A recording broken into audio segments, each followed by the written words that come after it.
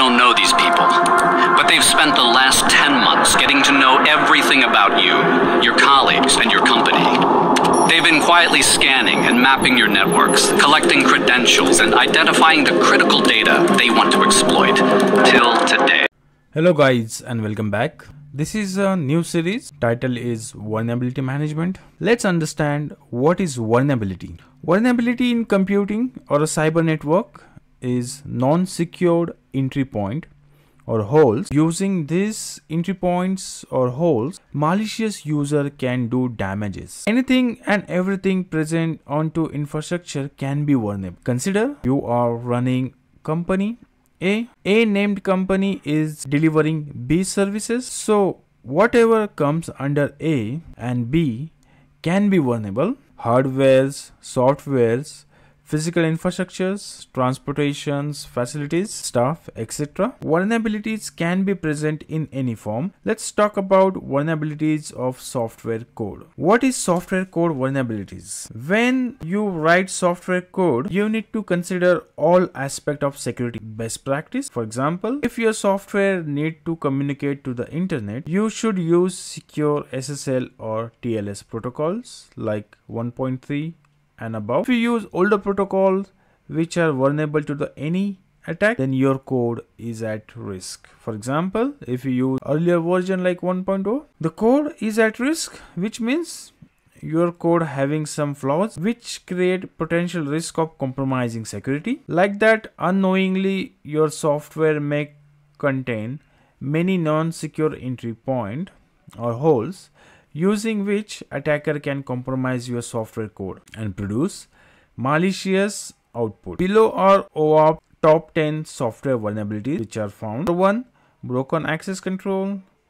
Number 2 cryptographical failure. Number 3 injection. Number 4 insecure design.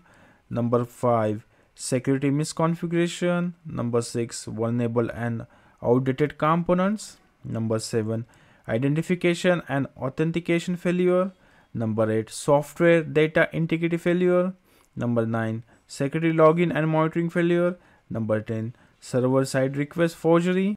In separate video we will discuss about OWASP top 10 vulnerabilities in detail. Most effective way to prevent software vulnerability is to use secure coding standards enforcing all security standards. Now let's see what is frequency of data breaches and average total cost in US dollars. Below is IBM cost of data breach report of 2021. If you can see, there is all various network attacks here and the compromised costs associated with it.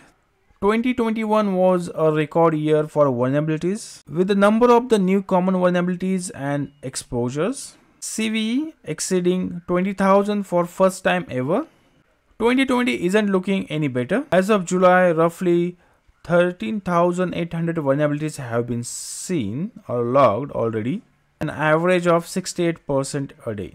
Given the number, it's not surprising that organizations with poor vulnerability management are paying a high price. Average cost of data breach rose nearly 10% between 2021 and 2022 from 3.86 million dollars to 4.24 million US dollars.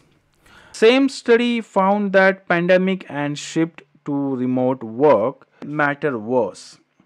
In breaches where remote work was factor, the average cost was 1.07 million dollars higher than breaches involving non-remote work settings. Additionally, employer with predominantly remote workforce took on average 58 days longer to contain breaches than their non-remote counterpart did. Vulnerability management challenges Clearly, many organizations are struggling to implement effective vulnerability management. This could be due to any number of reasons, but below are few of more common culprits. Number one, tool overload. Many organizations address their security concerns by acquiring new tool for every concern. Threat remediation, asset management, vulnerability detection, and more. This create a varied toolbox that looks good from the outside but in many cases these tools do not integrate well and create security silos preventing organization from taking more cohesive security postures. Second, alert overload. A common complaint from organization is the overwhelming volume of security alerts flagged by SIEM. A large portion of these alerts are false positive that the system believes are malicious. Security teams that are victim of alert overload are forced to spending an exorbitant amount of time time that could be better spent on remediation. Number three, skill shortage. Organizations are struggling to meet modern cybersecurity need in rapidly changing digital landscape.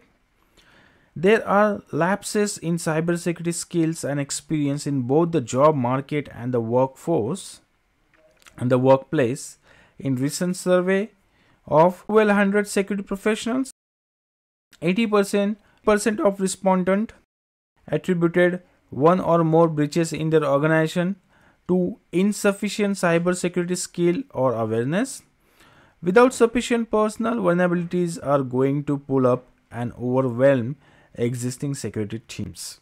Half of the 10.0 CVSS vulnerabilities reported so far in 2022 scored incorrectly.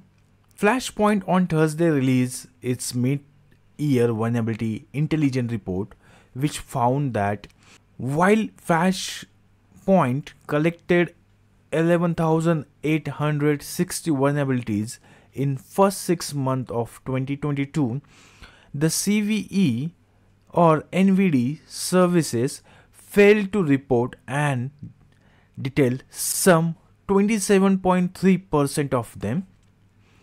Brian Martin, Vice President of Vulnerability Intelligence at Flashpoint said, Organizations need to understand that vulnerabilities disclosure landscape is highly volatile, with standard days potentially introducing volume traditionally seen only on Patch Tuesday and similar industry events. The reports also found that security team using CVSS V2 score as a basis for prioritization may be misguided as Flashpoint found that 52% of all 10.0 vulnerabilities reported in 2022 does far are likely scored incorrectly.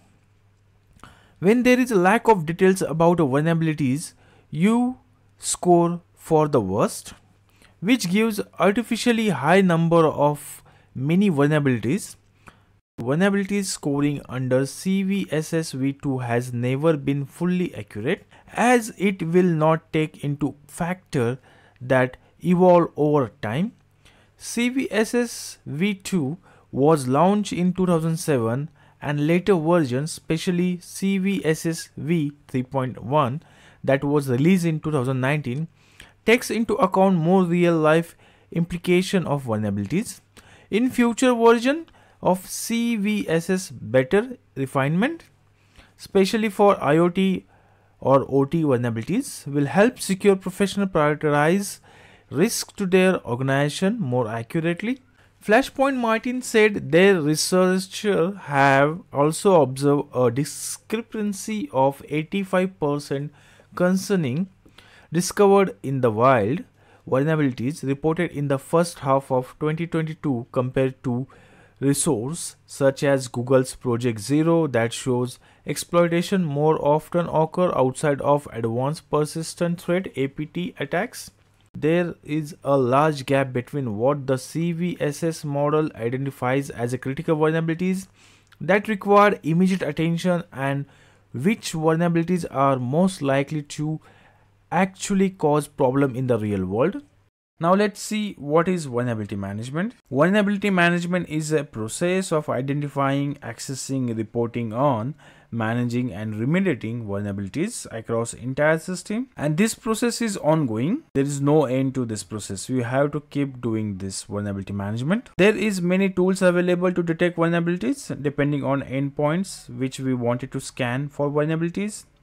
For example CrowdStrike Tenable are the tools which are more in use in IT world for detecting vulnerabilities in assets and software etc. In last few years however vulnerability management has proven especially challenging for security teams to get right